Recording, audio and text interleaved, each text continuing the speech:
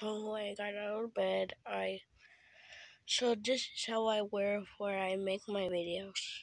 First, I start off with drawing. So drawing, I'll tell you how much work I do in in editing and doing stuff. So first of all, I draw them first, and then second of all, I do is I do like a pencil thing, and I just and then they come to life like like magic. So yeah. Sometimes I do it, sometimes I not do it, but it's it's cool for the channel. Yes, and we're I'm seeing we're getting up to to 100k. So so I want you to do is stop this, pause the video, subscribe, leave a comment, and like this video. Okay? And shout out to Eric. He's he's just so amazing. He's my friend. Yes, we we made our own channel. Yes. So go check out.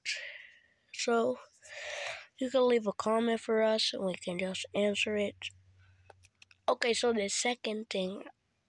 So for the plushie videos, I do is I grab the plushies and do like and like things when they're like doing their stuff. And the toys I do is grab like Sonic thing like from the other channels. I like Sonic. I forgot what's the name. But he does it too with his I'm doing it same.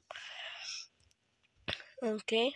So first I always wear something different like my I could just wear my clothes I'm just wearing right now or something else.